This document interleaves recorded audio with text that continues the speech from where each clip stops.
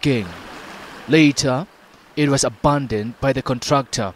Now there is a massive hole without warning signs.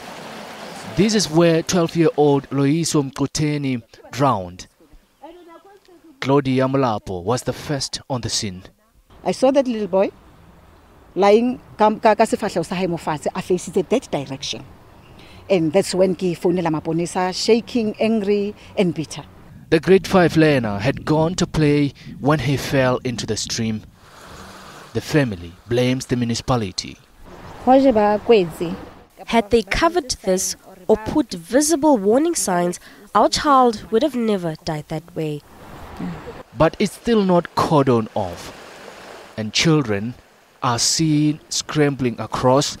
Residents have complained in vain.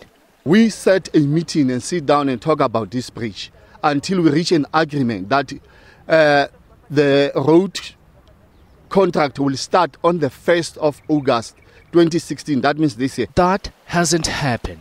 There was a contractor that was initially appointed that has to be removed from the site due to other reasons, citing to delays on completion of that road.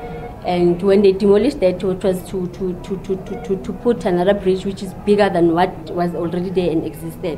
But because of the delays on, and the poor performance of the contractor, we had to terminate the contract. Do you admit that you failed the community?